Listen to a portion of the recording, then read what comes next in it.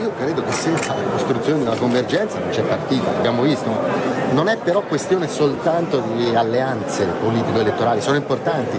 Vorrei dire che deve essere scontata la costruzione di un'alleanza larga, perché se non c'è quella non si comincia neanche a giocare la partita ma ripeto non basta, è diciamo, una sorta di appello quello che faccio, bisogna cominciare subito e bisogna girare il paese insieme per rendere credibili delle proposte, anche per ricordare e ricordarsi che le cose che si dicono quando si fa l'opposizione bisogna poi farle anche quando ci si trova a governare.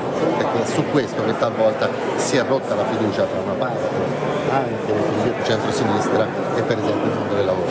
Penso che eh, le opposizioni abbiano il compito non solo di fare l'opposizione, per esempio di fronte a una delega fiscale che va nella direzione opposta a quella della progressività che aumenta la diseguaglianza, colpisce i lavoratori pensionati e non aiuta i giovani in questo paese, penso che le opposizioni abbiano l'urgenza anche di definire una proposta su cui ricostruire nel paese un'alternativa. Vedremo che cosa dirà ciascuno e ciascuna dei nostri di oggi.